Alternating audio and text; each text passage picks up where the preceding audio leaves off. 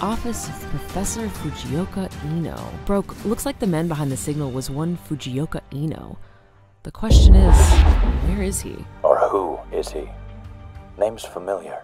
What do you bet? Megalomaniac genius or wannabe blimp? I'll hedge my bets on that one. Perhaps Dynamic Neural is his pseudonym? Wait, I've got an idea on Fujioka and another scientist. Dr. Shibata, the future of neural research rests in the hands of young geniuses like you, Professor Fujioka. Hang on. There's a data point on the machine. Can you download the file? I'll try. Let's hope it leads us closer to who or what we should be looking for.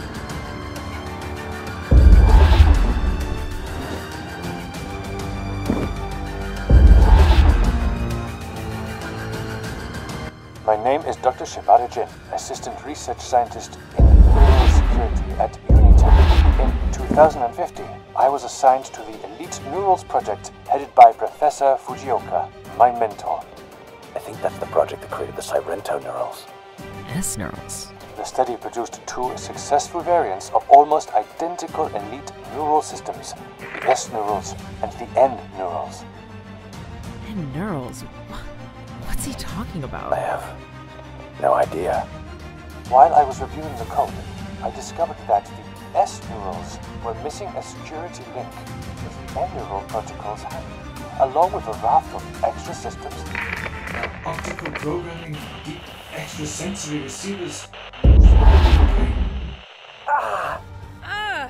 Initiating data override. Unauthorized access detected. Auto lockdown activated. Unauthorized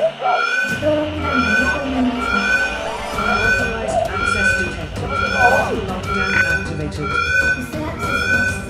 Download complete.